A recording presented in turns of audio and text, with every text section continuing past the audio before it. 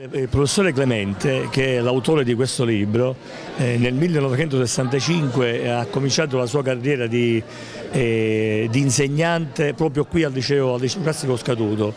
e ha mm, diciamo, divulgato al massimo l'atletica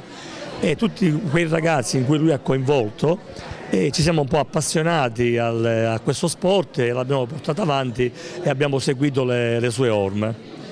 E lui è partito appunto dal liceo classico e ha scoperto eh, Margherita Gargano che è stata un po' la pioniera del, dello sport siciliano in quanto è stata la prima donna a partecipare alle, alle Olimpiadi. E quindi di là in poi insomma eh, l'atletica a Baglieria è andata avanti, poi abbiamo avuto anni incerti che ha seguito le, eh, le, le sue orme. E in questo libro in questo libro il professore Clemente parla anche di altri campioni, di campioni baglieresi come eh, Pietro Balistreri che è un, eh, un, atleta degli anni 50 di, di, Aspra che gareggiava per i Vigili del Fuoco di, eh, di Palermo e che è stato campione nazionale del,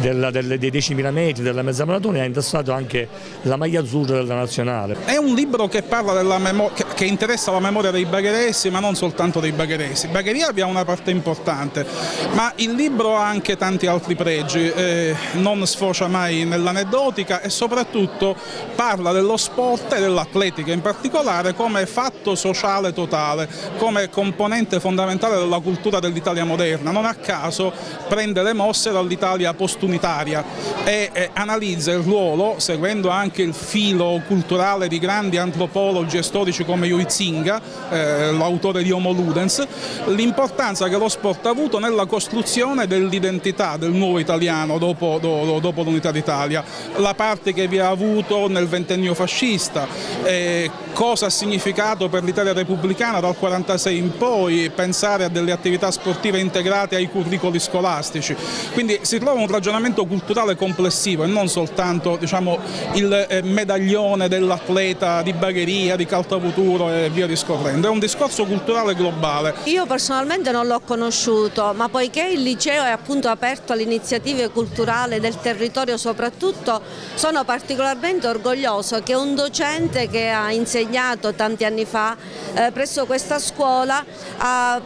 ha pensato proprio di eh, produrre una storiografia dell'atletica che è molto significativa, accedendo quindi a degli archivi per quanto riguarda ecco, la, la, storia dell'atletica. E quindi è stato un docente non solo che ha insegnato a scuola ma che è riuscito a relazionarsi eh, col territorio eh, continuando quindi questa attività fuori dalla scuola. E sicuramente eh, poiché parliamo di tanti anni fa, eh, è uno, una fase molto importante della storia del territorio, perché sottolineando la funzione dell'atletica e dell'umanità eh, sono diciamo, concetti che non si possono dissociare, eh, per cui il classico che tende alla formazione dell'uomo in tutte le sue dimensioni trova in questo anche un'opportunità di esporre delle conoscenze che sono significative per il mondo sportivo ma nello specifico dell'atletica.